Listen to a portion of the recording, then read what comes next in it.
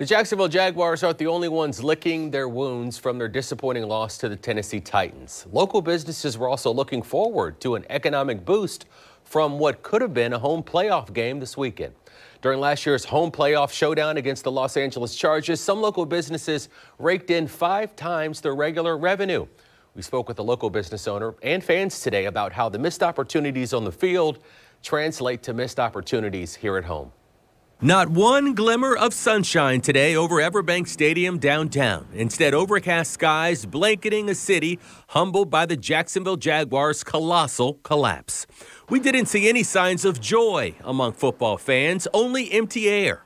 Peter Abrascato says he sensed overwhelming deflation. I have the luxury of being able to pop into a lot of local businesses um, on a daily basis and you know, it just their energy would have been there, and it's it's not today. You know, you can kind of feel that walking into places, a little head down. He says it's not only the football team regretting the missed opportunities. Local businesses were set to reap the economic benefits of a home playoff game and the national exposure the infrastructure here would have gotten a massive boost, you know, from from a win. You know, anything to help downtown Jacksonville would be amazing. I think it would have been massive for this city to, to see the Jags pull through and, you know, have people flying in and just, you know, people get a taste of what Jacksonville has to offer. During the build up to last year's wild card playoff game where the Jaguars faced the Los Angeles Chargers, the economic impact to the River City was estimated to be in the millions of dollars. Jaguars merchandise was in hot demand. The cash was flowing in for hotels, bars, and restaurants.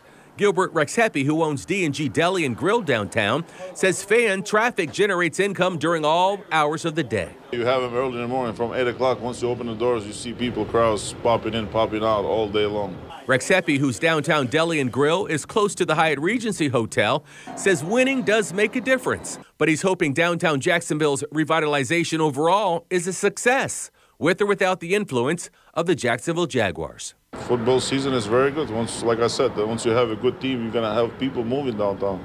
Look, there is no people. There is no. There is no. There is no. There is no family. There is no people coming spending time in downtown. Obviously, there is nothing to do here. It was it devastating? But the uh, guys did whatever they could.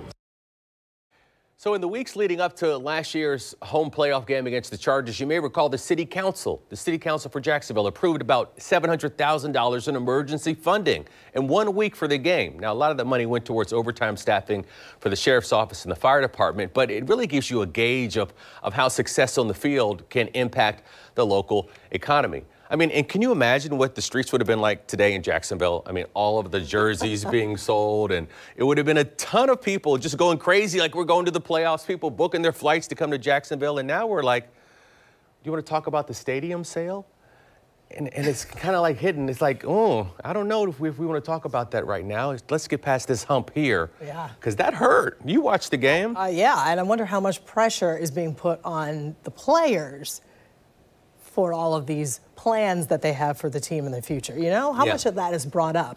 Yeah, and I misspoke. I said stadium sale. I meant stadium being built. Yes. Yeah, it's, it's not the sale of the stadium, but the stadium being built. And that's the next conversation that the Jacksonville Jaguars uh, and the city of Jacksonville will have is, is likely building that stadium. So we'll have to see what happens. Let's just wait a week, at least. At least a week. Hold on. Okay. well, coming